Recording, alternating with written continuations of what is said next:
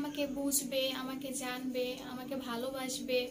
আমি, কারণ আমি ভালোবাসা পাইনি। যে আমাকে ভালোবাসবে, আমাকে বুঝবে, জানবে, আমাকে অধিক ভালোবাসা দিবে, ওরকম পেলে আমি ভেবে দেখব। সুপ্রিয় দর্শক, আসসালামু আলাইকুম। দর্শক, আমাদের সামনে যে মেয়েটাকে দেখছেন, দেখতে খুবই সুন্দর। তার মাত্র চোদ্দ বছর বয়স। এই বয়সে তার মনের বিরুদ্ধে তাকে বিয়ে দেওয়া হলো। আসলে জোর জোরপূর্বী তাকে বিয়ে দেওয়া হলো। তো এই মেয়েটি স্বামীর নির্যাতনের শিকার। আসলে কি ধরনের নির্যাতনের সে শিকার সেই কথাগুলোই আজ আমরা আপনাদের উদ্দেশ্যে তুলে ধরতে আসছি। তো আমরা কথা বলি এই বোনটির সাথে। আপু আসসালামু আলাইকুম। আর একটু জোরে কথা বলতে হবে। ওয়ালাইকুম সালাম কেমন আছেন? আলহামদুলিল্লাহ আপনারা কেমন আছেন? আলহামদুলিল্লাহ আপনার নাম? আফরিন মৌ। আচ্ছা তো খুব সুন্দর নাম। তো আমরা যতটুকু শুনেছি যে মনের বিরুদ্ধে জোরপূর্বী বিয়ে, আসলে বিয়ে কয় মাস করলে বিয়ের কয় মাস সংসার করলেন এবং কি বিয়েটা কি হলো, স্বামী কি ধরনের নির্যাতনের শিকার হয়েছেন আপনি? সেই কথাগুলো একটু বলুন। আমার বিয়ে চার মাস হয়েছে, তো চার মাসের মধ্যে আমার নানা, আমার মামা মিলে আমার বিয়েটা দিয়ে দিয়েছে। জোরপূর্বকভাবে বিয়ে দিয়েছে, তো আমার হাজবেন্ড রাত্রে দুটা তিনটা বাজে নেশা করে আসে, মদ, গাঁজা খেয়ে আসে। অনেক খারাপ ব্যবহার করে আমার সাথে। রাত্রে আসলে আমার সাথে নির্যাতন করে, আমাকে মারধর করে। অনেক কষ্টে আমার অনেক দিন গেছে। সে চারটা, পাঁচটা মাস আমার সাথে অনেক খারাপ ব্যবহার করছে। সে আমার মাকে গালাগালি করে, আমার বাবাকে গালাগালি করে। আমাকে তো প্রত্যেকটা দিন মারে এমন কোনো দিন নাই সে আমাকে মারে না। অনেক কষ্ট করে আমি ওর সাথে সংসার করছি চারটা মাস। আসলে কি কারণে মারধরগুলো করতো? কেন মারধরগুলো করতো? সে রাত্রে দুইটা তিনটা বাজে নেশা করে আসতো মদ খেয়ে আসতো জুয়া থেকে জুয়ার করে টাকা দিত ওখান থেকে আসতো। আসার পরে রাত্রে আমি ঘুমায় থাকতাম তো রাত্রে দরজা খুলতে লেট হলে সে আমাকে মারধর করতো। তারপর একটা চেইন দিয়েছে আমাকে ওই চেইনটা নিয়ে গেছে। তো আমি বলি চেইনটা দাও। কিছুতে কিছু হলে বলে আমার চেইন দিয়ে তো আমি চলে যাই। আমার চেইন দিয়ে তো আমি চলে যাই। তো চেইন নিয়ে গেছে চেইন নিয়ে জুয়ার করে বিক্রি করে দিছে। তো আমি বলছি যে চেইন কোথায়? চেইন দাও।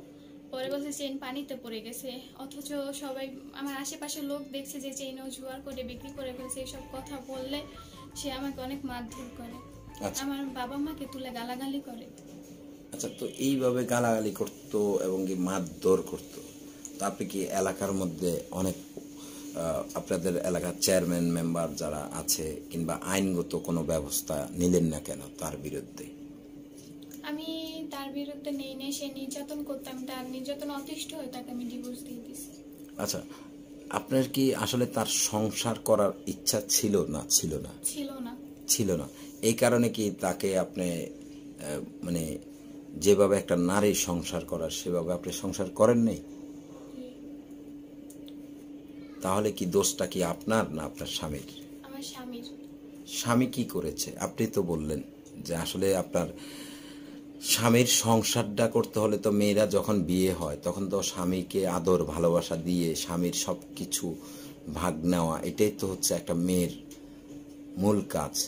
যে সেইভাবে কি স্বামীকে কি আদর ভালোবাসা দিয়ে রাখতেন? হ্যাঁ আমি ভালো জানতাম ভালোবাসতাম কিন্তু সে আমার সাথে অনেক খারাপ বিহেভ করতো নেশা করতো। সিগারেটের ভিতরে যেগুলো থাকতো ওগুলো বের করে তারপর কি যেন ঢুকে তারপর খেত।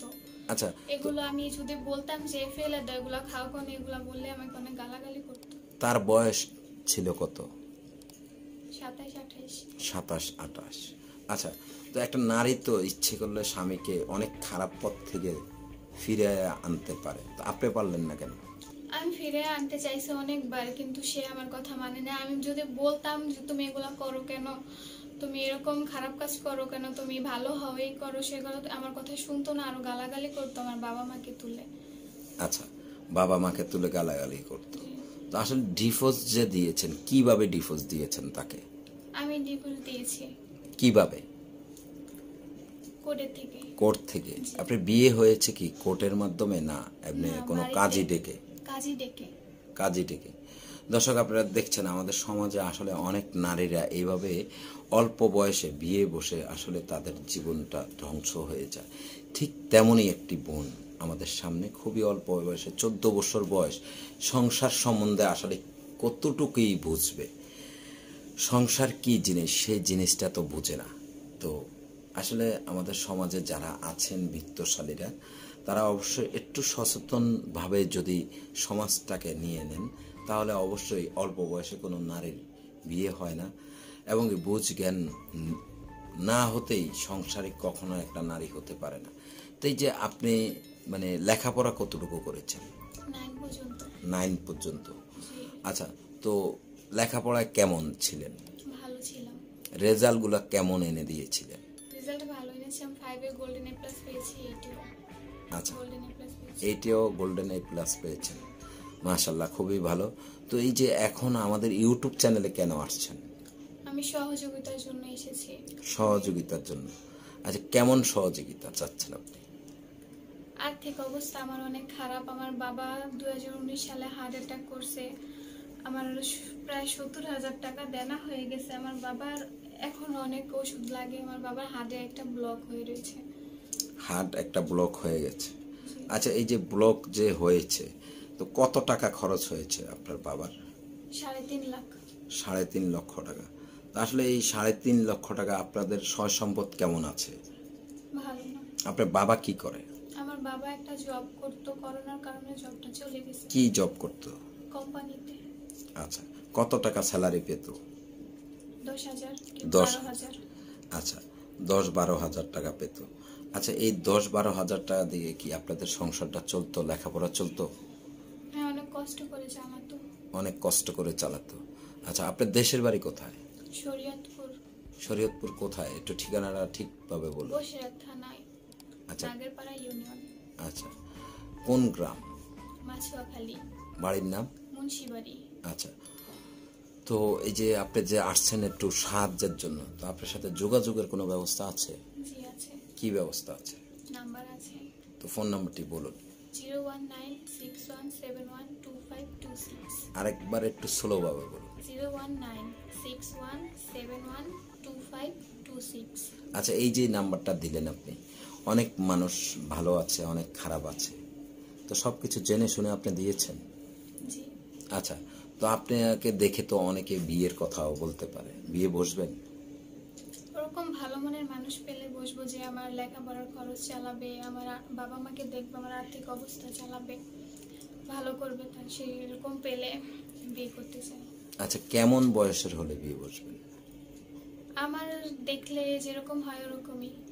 দেখলে? আমাকে বুঝবে আমাকে জানবে আমাকে ভালোবাসবে আমি কারণ আমি ভালোবাসা পাইনি। যে আমাকে ভালোবাসবে আমাকে বুঝবে জানবে আমাকে অধিক ভালোবাসা দিবে ওরকম পেলে আমি ভেবে দেখব। আচ্ছা বয়স? বয়স নাই। বয়স কোনো তুলনা নয়। যে ভালো হবে আমাকে ভালো জানবে সেটা হচ্ছে বিষয়। আচ্ছা তার মানে মানে বয়স মানুষ হবে। আচ্ছা বড় মনের মানুষ চাচ্ছেন। বয়স কোনো ব্যাপার না। দর্শক আপনারা শুনলেন আসলে বয়স কোনো ব্যাপার না। যে তাকে বুঝবে তার পরিবারকে দেখবে তাকেই সে বিয়ে বস তার কাছে বিয়ে বসবে। তো আসলে আমাদের সমাজে অনেক মেয়েরা এইভাবে ইউটিউবে এসে এই ধরনের কথা বলে অনেক মানুষকে প্রতারিত করে। আসলে আপনি কি প্রতারণা করবেন?